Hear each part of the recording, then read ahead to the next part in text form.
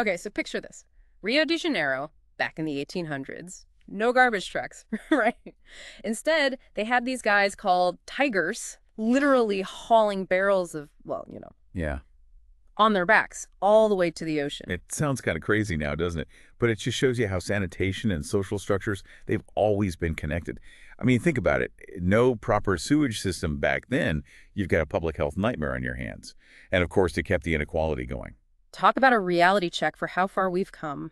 That's what we're diving into today, the world of sanitation. You sent over a whole bunch of research papers, government reports, even some historical accounts, all about sanitation in Brazil and Canada. Specifically, we're honing in on the Brazilian state of Santa Catarina in Ontario, Canada. Yeah. And we'll be your guides as we unpack all the key insights from this material.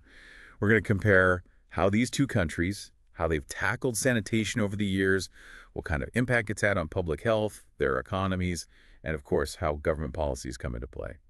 We'll also get into that debate about whether it should be the public or private sector calling the shots on sanitation. It's a hot topic, that's for sure. Or no? And to bring it all home, we'll tie these sanitation stories back to the bigger picture, those UN Sustainable Development Goals, especially the ones about clean water, sanitation, and building sustainable cities. Think of it like your crash course on all things sanitation, but way more interesting than reading a textbook. Exactly.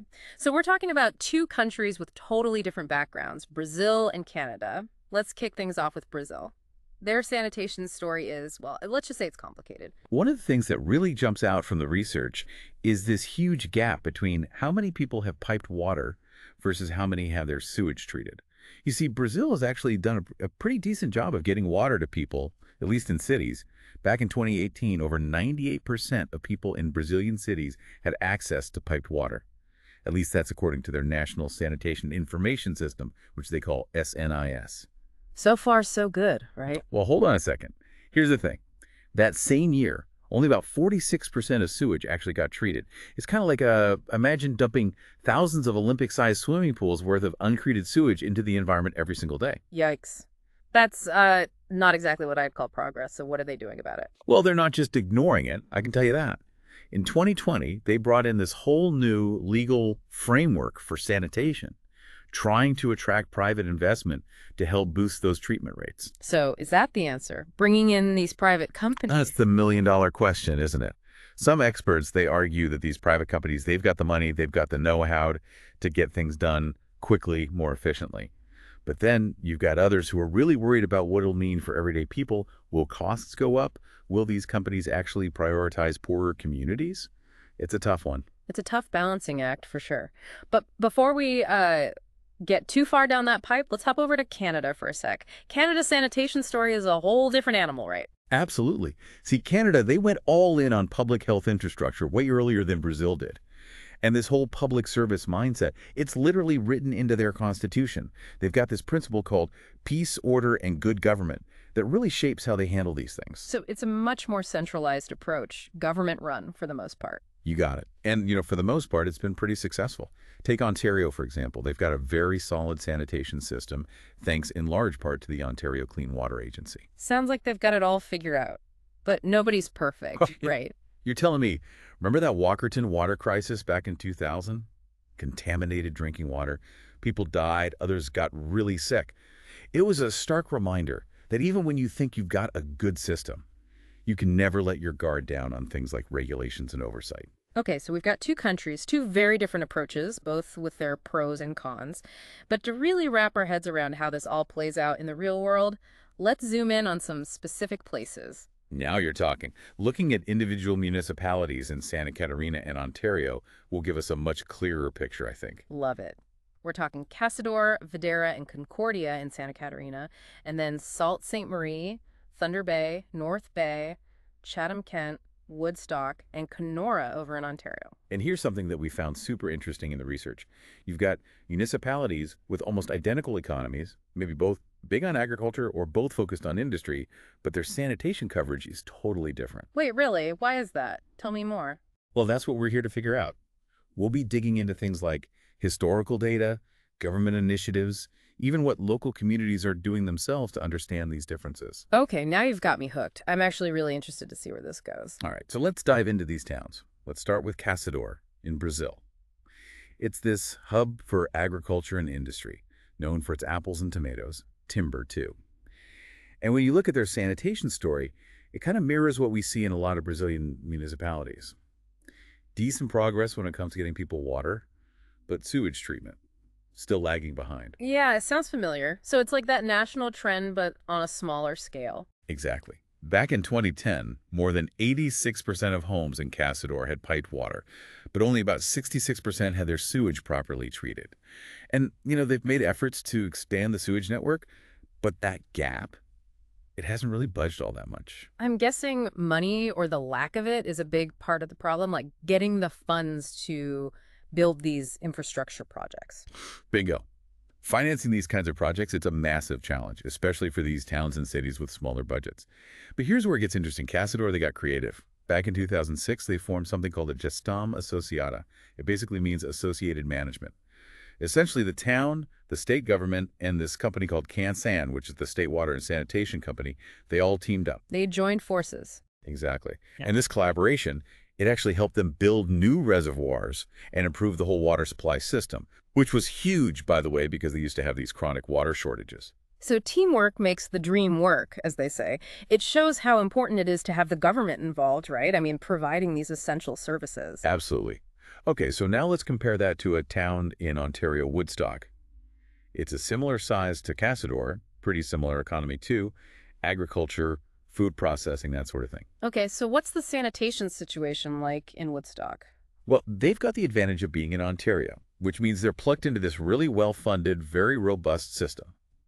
So they're hooked into these wastewater treatment plants run by Oxford County, which handles sewage for over 76,000 people, plus tons of businesses and industries. It's pretty impressive, actually. Wow, night and day compared to Caçador.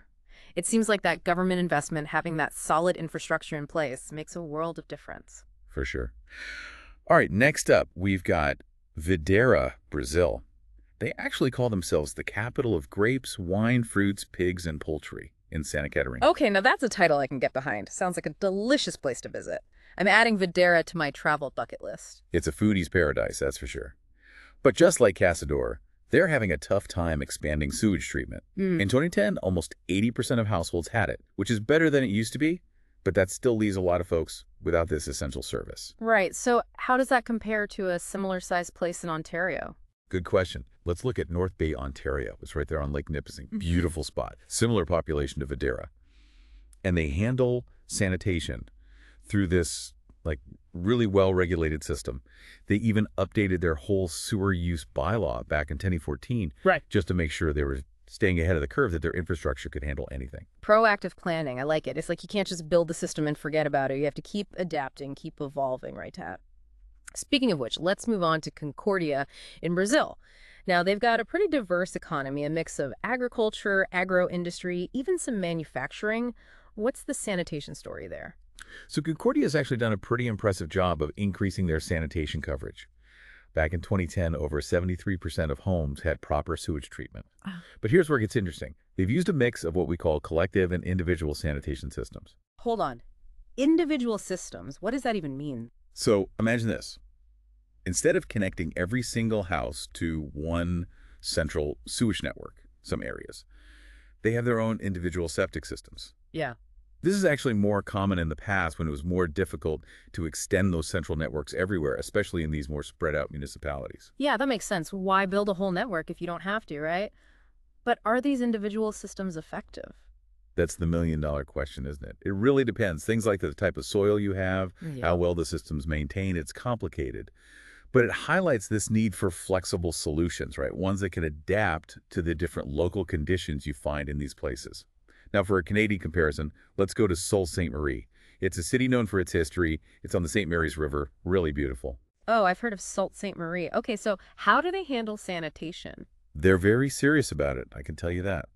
They've got this modern, very well-maintained infrastructure, which really reflects how committed Ontario is to providing safe and reliable sanitation services. Okay, I'm starting to see a theme here. Ontario is all about that systematic approach to sanitation. Right. They put a lot of money into their infrastructure. They've got this strong regulatory framework. It's like they've cracked the code. So it seems like both Brazil and Canada, they have their own unique way of doing things when it comes to sanitation, but ultimately they both want the same thing, right? To make sure everyone has access to these safe and reliable services. Exactly. And that's where those sustainable development goals come in those SDGs. They provide this kind of global game plan for how we can tackle these essential challenges. Okay, so let's talk about those sustainable development goals, the SDGs as they're called. How do these sanitation stories we've been discussing, how do they fit into those big global goals? Well, think of the SDGs like, you know, a roadmap, a roadmap to a more sustainable future for everyone. And all the UN member states, they signed off on them back in 2015. Mm. Now, when we're talking sanitation, there are two goals that are particularly relevant. Goal six, that's all about making sure everyone has access to clean water and sanitation. And then there's Goal 11, which focuses on sustainable cities, making sure cities are safe and sustainable places to live. Right. Okay, so how are Brazil and Canada doing when it comes to these goals? Are they on track? Well, if you look at Brazil, they've made some good progress, I'd say, in terms of getting safe drinking water to more people. But that sewage treatment gap we talked about, that's still a major problem for them. It's a big reason why they're lagging behind on SDG 6. That new legal framework they introduced in 2020 that was a step in the right direction for sure. Yeah. But it's still too early to say what kind of impact it's really having. Yeah. And what about those inequalities we talked about? You know, how some communities still lack access to basic sanitation. Exactly. It's not just about building the infrastructure, the pipes, the treatment plants. It's about making sure everyone benefits. And too often, it's the rural areas, the low-income communities that get left behind. And that's a huge barrier, obviously, to achieving real sanitation equality. So room for improvement in Brazil, it sounds like. What about Canada? They seem to be doing pretty well on the sanitation front. Yeah, Canada's definitely one of the high achievers when it comes to both SDG 6 and 11. Hmm. They've got that high sanitation coverage. They focus a lot on sustainable urban planning. They're doing a lot of things right. But they must have some challenges too, right? Nobody's perfect. Oh, absolutely. They've got aging infrastructure that needs constant upkeep. They've got to adapt to climate change. And like you said, nobody's perfect. Yeah. They need to keep investing, keep innovating if they want to stay ahead of the game. It's a never-ending process, isn't it? So what can we do to speed things up? How do we make sure everyone has access to safe sanitation? In Brazil, in Canada, everywhere. The million-dollar question. Well, a big part of it is money, of course. Hmm. We need more investment in sanitation infrastructure, especially in countries like Brazil. And that might mean finding creative financing solutions, like maybe those public-private partnerships we were talking about earlier. Right, but it's got to be more than just throwing money at the problem, right? Exactly. We need transparency. We need accountability. We need to make sure that those investments are actually benefiting the people who need it most. And that means having strong regulations in place, making sure those services are safe and high quality. And we can't forget about the Walkerton crisis. A stark reminder that even the best systems can fail if we're not careful. Exactly. And, you know, we haven't even talked about the importance of community engagement and education. We need people to understand why sanitation matters.